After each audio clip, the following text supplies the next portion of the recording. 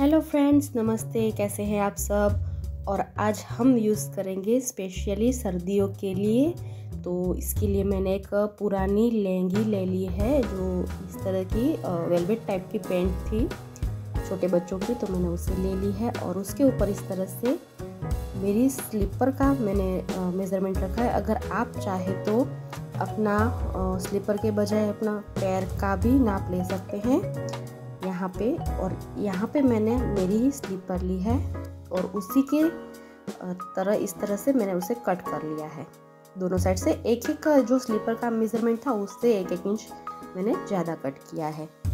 और इसी तरह से हमने एक साइड से दो और दूसरी साइड से ही भी दो पार्ट कट कर लेने हैं। सेम टू सेम इसी की तरह ये जो हमने दो पार्ट कट किए, इसी तरह हमें दूसरे दो कट करने हैं। और अब इसके अंदर आप चाहे तो फॉर्म सेट भी डाल सकते हैं या कोई और टॉवेल जितना कोई भी मोटा कपड़ा इसके अंदर डालना चाहे तो वो डाल सकते हैं। और यहाँ पे वह मैंने शॉपिंग बैग का यूज़ किया है।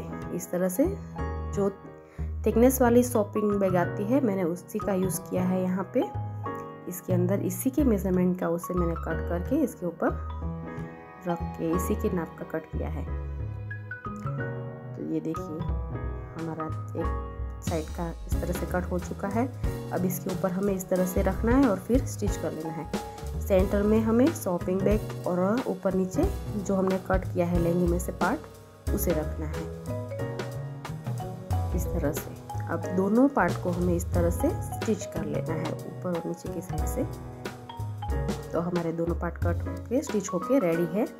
और अब हमें क्या करना है? अब एक और इसी की मैचिंग कपड़ा हमें और लेना है। यहाँ से मैंने एट इंच लिया है और उसे एट इंच को मैंने इस तरह से पूरा कट कर लिया है। लंबाई हमें इसी के नाप की लेनी है, लेकिन जो हमें भाग ज़्यादा खुला रखना है ऊपर की साइड का, उसे यहाँ पे हमें थोड़ा दो इंच जितना ज़्यादा रखना है तो उससे मैंने यहाँ से एट इंच लिया है। और अब हमें क्या करना है? ये दो जो हमने पार्ट कट किए हैं, जो उसे इस तरह से बीच में से फोल्ड कर लेना है। और फोल्ड करने के बाद ऊपर की साइड से थोड़ा सा हल्का सा हमें राउंड शेप दे देना है। यहाँ से इस तरह से। और अब हमें नीचे की साइड से इस तरह से सीधा कर लेना है, एकदम से दोनों पार्ट को। और ऊपर की साइड से हमें सिक्स इंच जितना मेज़रमेंट लेना है, ऊपर की साइड से नीचे तक हमें सिक्स इंच लेना है और फिर अंदर तक हमें वन इंच यहाँ से। तो हमें यहाँ पे वन इंच लेना है और पूरा सीधा लाइन कर लेना है कट कर लेना है। ये देखिए, हमें एकदम अच्छे से इसे पकड़ के वहाँ पे कट लगाना है ताकि हमारा दोनों पार्ट सही से एक ही नाप में कटे। अब हमारे दोनों पार्ट में इस तरह से कट लग चुका है। ये देखिए, कुछ इस तरह से सेप आएगा इसका। और हमें इसी तरह दो और सेप के दो पार्ट और कट कर लेने हैं। ये देखिए, हमारे दोनों पार्ट कट हो चुके हैं। अब हमें एक दूसरे के ऊपर ये पार्ट को उल्टा रखना है। ये देखिए। और यहाँ से लेके यहाँ तक हमें स्टिच कर लेना है दोनों। में इस तरह से, और इसके अंदर हमें थोड़ा थोड़ा कट मार्क लगा लेने हैं। और फिर उसे उल्टा करके हमें दोनों पार्ट को, जो हमने सेंटर में स्टिच लगाया वहाँ पे इस तरह से पकड़ लेना है। और उसी के ऊपर हमें स्टिच लगाने है, ताकि हमारा जो जोड़ लगे वहाँ पे हमारा चुभे नहीं पैर में इसीलिए। तो अब हमें दोनों पार्ट को इस तरह से रेडी कर लेना है और फिर सीधा कर लेना है। जो हमने स्टिच लगाया, जहाँ पे जोड़ लगाया वहाँ पे इस तरह से दोनों को सेंटर में पकड़ के पूरे राउंड में इस तरह से हमें स्टिच कर लेना है। ये देखिए, यहाँ पे भी हमें इसी तरह दोनों में उल्टा करके एक पार्ट को अंदर की साइड उल्टा कर लेना है, सीधा कर लेना है और फिर इसके ऊपर हमें स्टिच लगा लेनी है।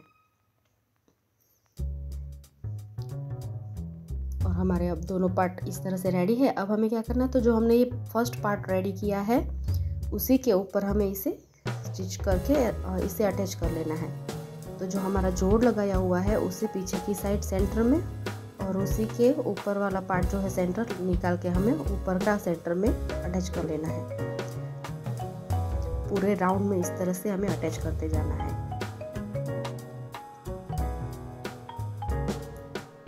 ये देखिए, इस तरह से शेप में हम अटैच करते जाएँगे तो पूरे राउंड में अच्छे से अटैच हो जाएगा। ये हमारा यहाँ पे जॉइंट हो चुका है। अब इसे हमें सीधा कर लेना है। तो देखिए, ये हमारे सर्दियों के लिए बहुत ही प्यारी मोजों की जोड़ बन के रेडी है पैर। तो ये बहुत ही काम आते हैं हमें और बहुत ही यूज़फुल है। तो आपको हमारा वीडियो कैसा लगा, हमें कमेंट करके ज़रूर बताइएगा। लाइक कीजिए शेयर कीजिए और हाँ सब्सक्राइब करना बिल्कुल भी ना भूलिएगा।